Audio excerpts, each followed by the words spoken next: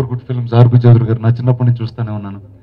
And మా చిన్న నాతో ఇప్పుడు చెప్తూ ఉండేవారండి సురేష్ ప్రొడక్షన్స్ ఆయనకి ఎంత home production Super Good Films కూడా ఆయనకు అంతే హోమ్ ప్రొడక్షన్ అని.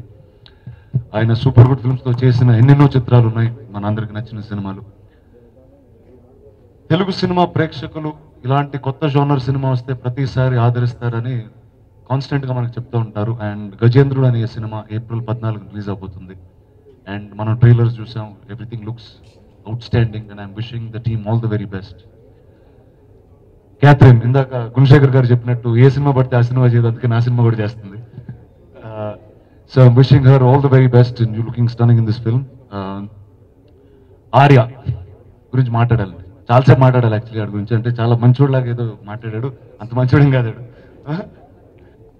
నేను ఆర్య కలిసి బెంగళూరు నాటకాలను సినిమా చేసామంటే అది చాలా తక్కువ మంది చూశారు. అది వేరే విషయం అనుకోండి.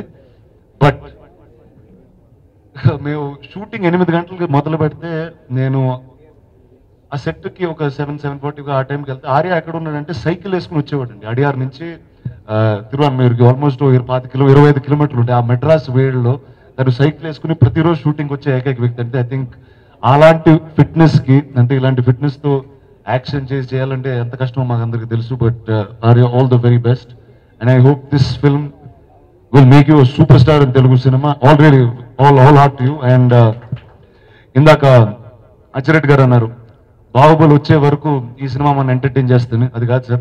బాహుబలి వచ్చినా కూడా ఈ సినిమా మనం ఎంటర్టైన్ చేయాలని మనస్ఫూర్తిగా కోరుకుంటాను. Thank you very much